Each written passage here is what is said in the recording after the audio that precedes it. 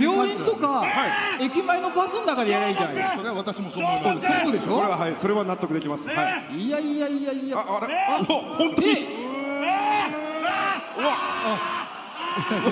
ここれって流血だ流血。いや採血だ。なんと高木三四郎採血。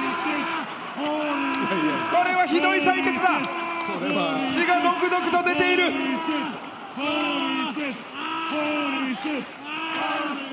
まあでもこれある意味ねこの採血をして血液検査をしてなんか見つかっちゃったりとかしたら高木さん明らかに血がドロドロしてそうなんでですよね。えー一度ちゃんと検査してもらった方がいいと思うのでね。